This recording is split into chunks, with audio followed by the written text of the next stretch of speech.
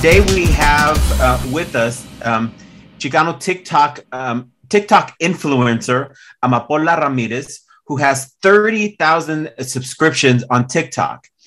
And, and our goal with Chicano TikTok is that you, you have a significant amount of uh, Chicanos, Mexicans, Latinos who are on TikTok and, and are doing very interesting things.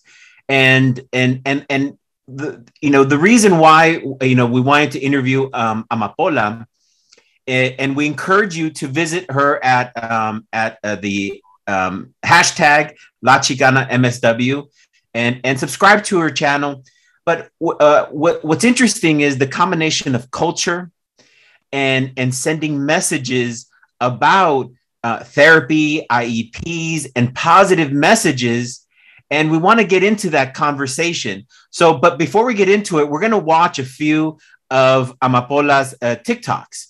So um, check them out. Then, uh, then we'll get into some questions for couples. Being mad again is normal. And when you're living with someone, you already know that person. They're very predictable and they know when you're mad. So here is a tip from La Chicana therapist. Asking for help. Asking for help can be very challenging. But when you ask for help, it's actually very courageous. gusta tu estilo de vida? Es como muy humilde, muy minimalista, sin nada de lujos, ni maquillajes, ni ropa de marca, simplemente viviendo la vida. Me gusta mucho ese estilo. Ay, muchas gracias. Se llama pobreza, pero mucho... How to keep the Chicano movement alive.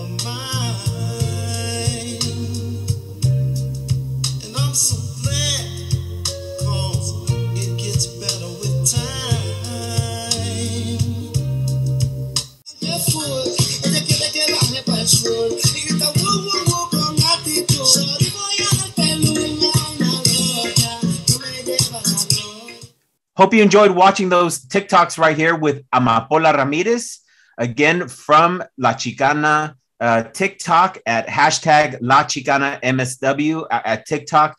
Go um, subscribe to her. And those who are new to Buelna News, um, subscribe right there. Click that little button and, and, and, and, and join us. Uh, our goal is is to you know um, broaden the amount uh, amount of Chicanos Latinos who are on um, social media and are sharing together. And we've had other uh, TikTok TikTokers. We've had Mexican Excellence. We've had Abad Leyva. We've had others, you know, on here because we want folks to go from the small screen TikTok, small, short messages to understanding a little bit about you so that your message gets gets exposed. So again, subscribe and then visit Amapola's um, uh, uh, um, TikTok, and we're going to give Amapola a lot of time to talk about um, her podcast and what she's doing and all, and all that.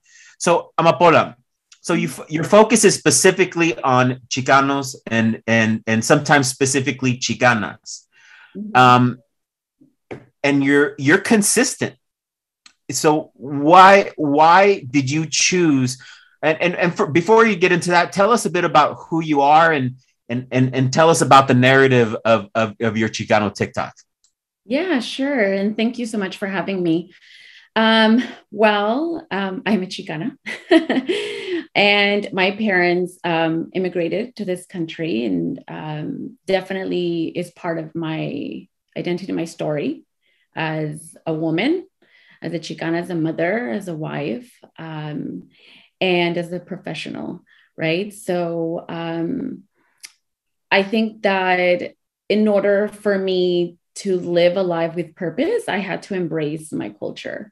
And I have to embrace what I have felt has been important to me, um, which is the culture like I said, as a Chicana, obviously ni de aquí ni de allá kind of thing, and like where do I belong? um, that's definitely something I, I can relate, and many people have shared with me they can relate. So, um, like I mentioned, I am a mother. I have two sons, and I am a wife.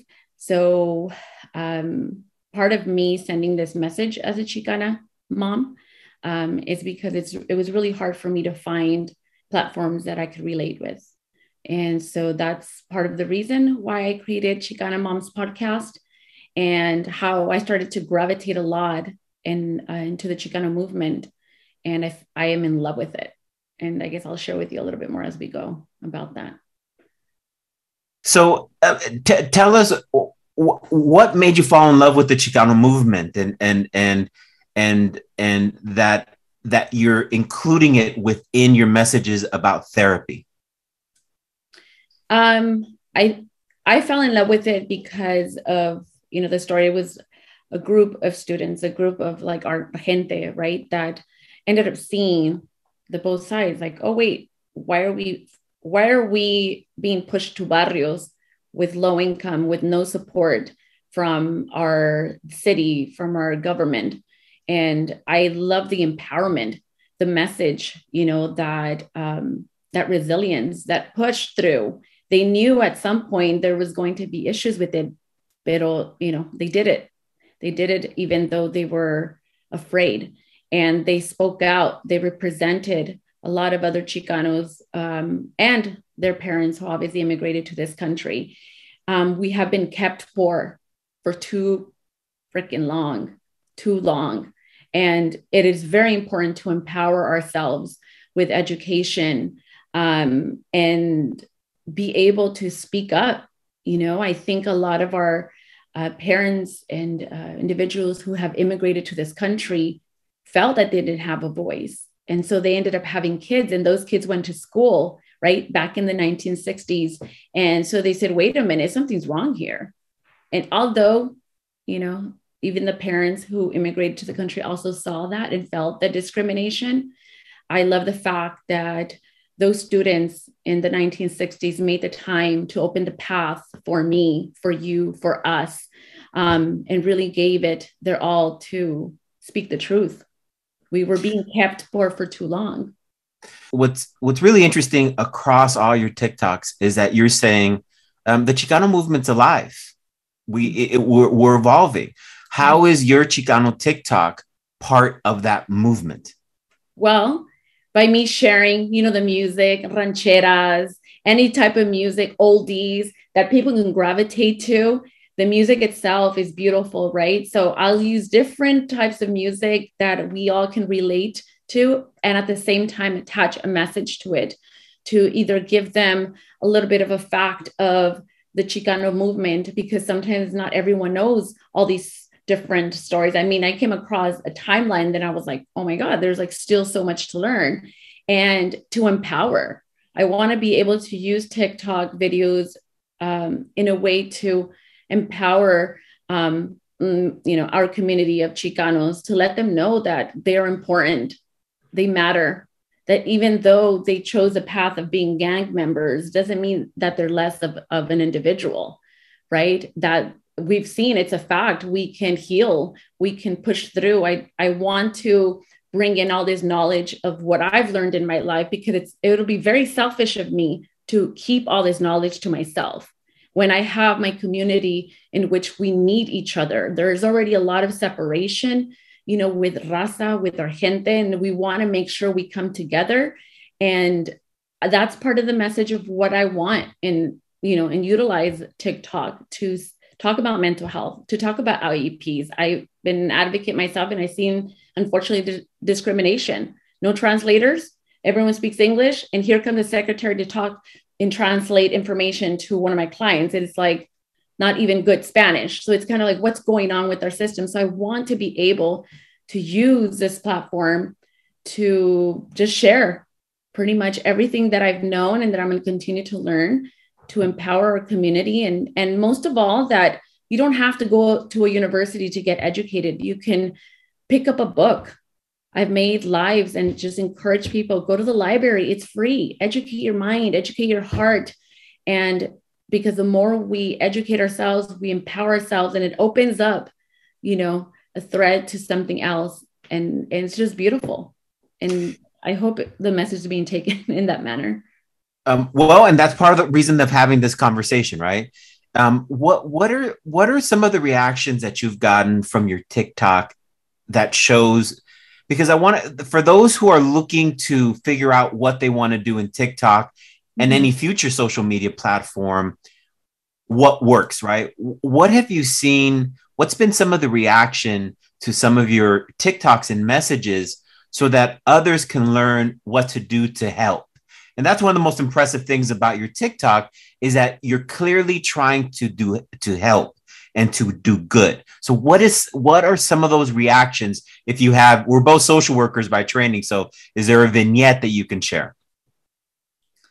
Um well something that I would definitely say or the feedback like you're saying you yeah. know as to what I get um I've had people share a lot that they always have called themselves Chicanos, but didn't really know so much of it. So it it makes them feel like I want to know more.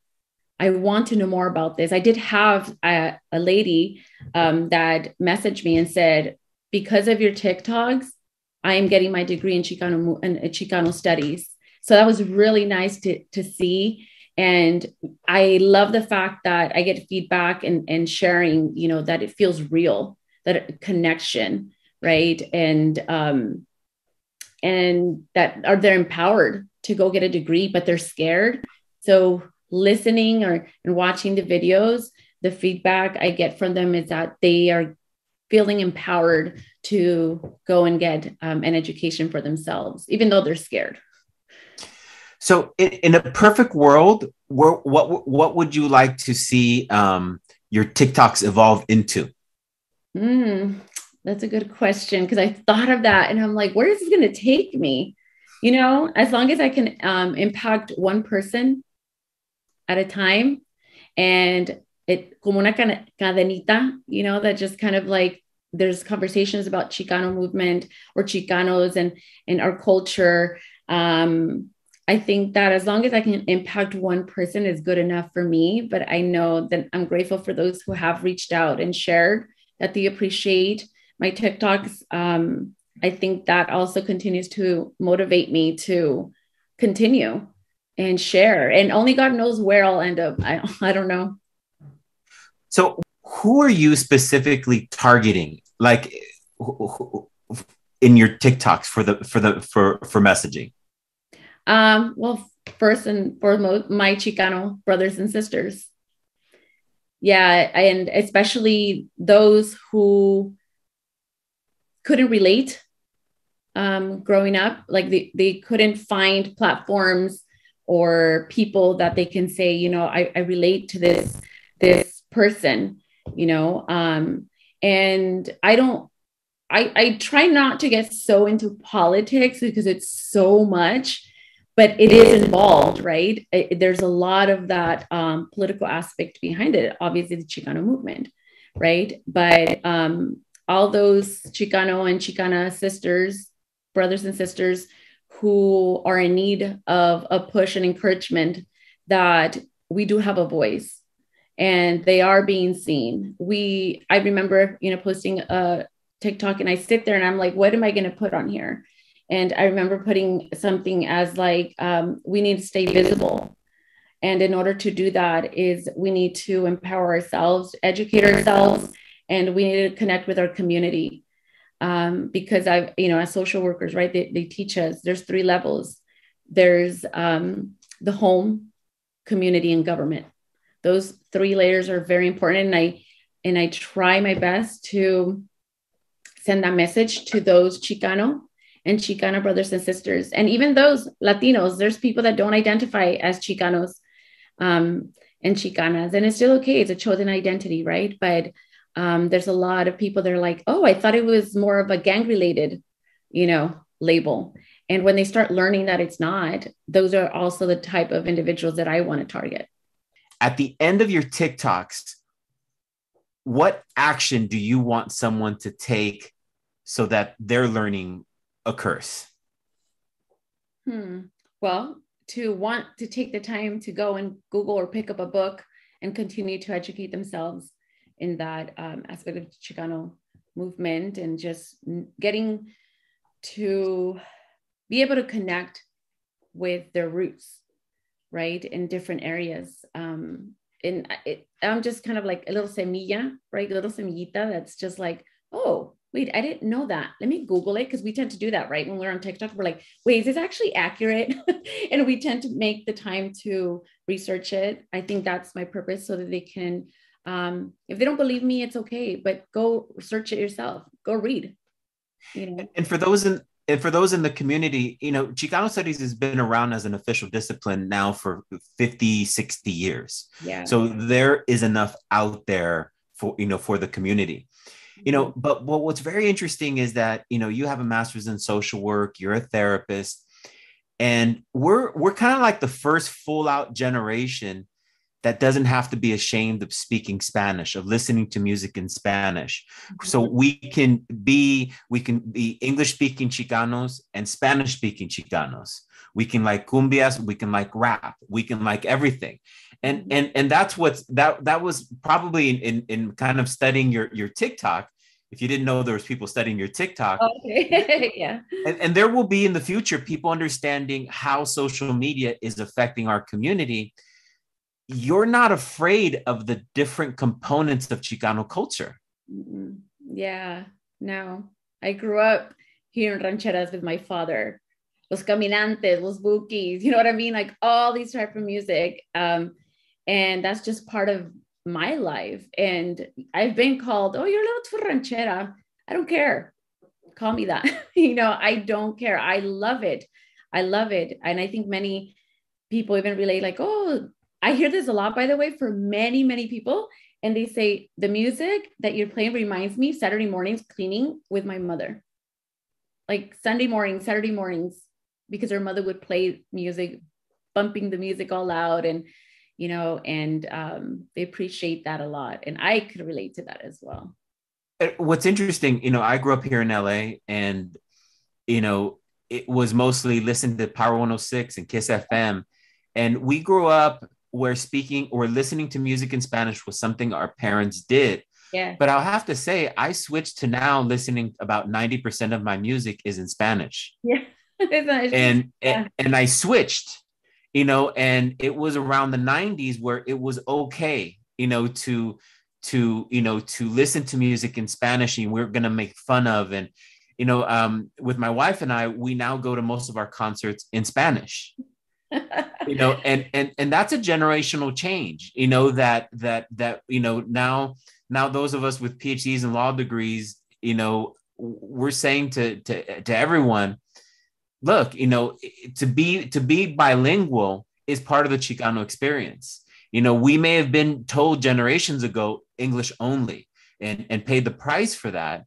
Um, but now to empower yourself in that bilingualism and combining that bilingualism with therapeutic messages is is part of empowerment. Yeah. So you know, so that's that's why I wanted to have you on board. But uh, Amapola, is there is there anything else that you would like to share with the audience about about your about your TikTok and and and um, and what you would in your vision? Um, I guess to honor honor our ancestors through our culture, through music, through food. If you don't know how to cook, you know, uh, Mexican food, then learn embrace it in that manner. We keep our ancestors alive in that manner. We represent, I represent my abuelitas. And every time I think it gives me the chills because I know that as females, they didn't have voice. And, you know, 12 kids. Like, for 12 kids, like I'm sure at some point they said no more kids and you know, things happen. But um me as a, as a Chicana, I definitely want to continue to um encourage people to honor their ancestors, their abuelitos, abuelitas, and um, embrace it in any way. The way you represent yourself, um, we all represent each other. We're, you know, people of color, and Mexicans is different, different color skin tones, right? So um, it's never being embarrassed of who you are and where you come from. And tell us about. Let's finish off with. Tell us about your podcast on on on Chicana uh, Latina moms. Yeah, so it it's a baby. She's three years old. um, I started a podcast. I did not know how to start a podcast, by the way. I don't know how I figured it out, but I did. And I it started with me um, wanting to find podcasts that I can relate to as a mom because unfortunately, you know, I don't, I don't say unfortunately, but there's a lot of white podcasts out there, you know, that I just couldn't relate to. Um, and I was like, oh man, there's one, Super Mamas, really awesome podcast, by the way. Um, and actually, they're the owners of, um, I think it's a restaurant, Glanetza. I don't know if I'm saying it wrong. I'm probably messing it up, but it's a Oaxacan restaurant in LA. Oh, La Guelaguetza. La Guelaguetza. There you go. Yes. Okay. So the owners of that restaurant have a podcast called Super Mamas. And um, yeah, so I started listening to them and I was like, oh, I love this. Where's another one? Where's another podcast I can relate to? I couldn't. I couldn't really find one. And I always learned, I learned from my mom, if if you don't find it anywhere, you figure out yourself and you make it yourself. It can, you know. So I was like, okay, that's what I'm gonna do. So um, I started, you know, talking about mental health, self-care, empowering the Chicana moms um, because there's a lot of generational traumas. You know, the impacts, like I mentioned, about you know um, grandmothers having many kids without even ask do you want another child it was just more like you're going to have it because you're going to have it and there's a generational trauma right that happens from a female to a female to a female not not dismissing the male aspect right? But as mothers there's a lot of things that we go through as well. And i know fathers do too you know but um, i decided mothers need their space. Yes. Yeah. So um, I decided to just make this space. And it's really awesome because I get a lot of feedback from a lot of moms to say, finally, I found something that I can relate to. Because sometimes I, I talk Spanglish. Sometimes I'll say words that are just like, you know, that we grew up with. I it's not very um can formal. Very, just very, very what's the word I want to use? Um, just I, I try my best to just be genuine on there, you know, authentic authentic. There you go. That's the word i want to use. Yes. So that i can um, connect with these moms. And i call them sisters too. So but yeah it, it, i'm glad i did because i've created a community with many chicana and latina moms which i actually started my podcast called chicana moms podcast. And then then later i implemented chicana and latina moms podcast because I know not a lot of Latinas like to identify as Chicana. So I wanted to respect that as too as well, but create a space for them. Okay. And and how would people find the podcast? Oh, it's called Chicana and Latina Moms Podcast. Oh, yeah. if, if, your host was paying attention a, a, little, I just wanted to make sure that the that the guest saw that. So Amapola Ramirez, thank you very much for sharing some time on Chicano TikTok and, and and and the review. We wish you all the best, and uh, and for those, uh, share her TikToks with folks. Ask. Uh, share them, text them to people with people, put them on Facebook, put them on Twitter, ask people to think about it. If you're a faculty member in Chicano studies or not in or in any ethnic studies class or in any class or in any communication, use her TikToks to have a discussion about things. And, and, and ultimately that will lead to other people doing things and to positive change. So from Buelna News, your host, um, um, Gabriel Buelna, um, subscribe, and if you're, you know, as, as, some of you know, I'm an attorney as well. Um, you know, we're about to put some of the information in the in the next slide. But until the next show, everyone, muchas gracias.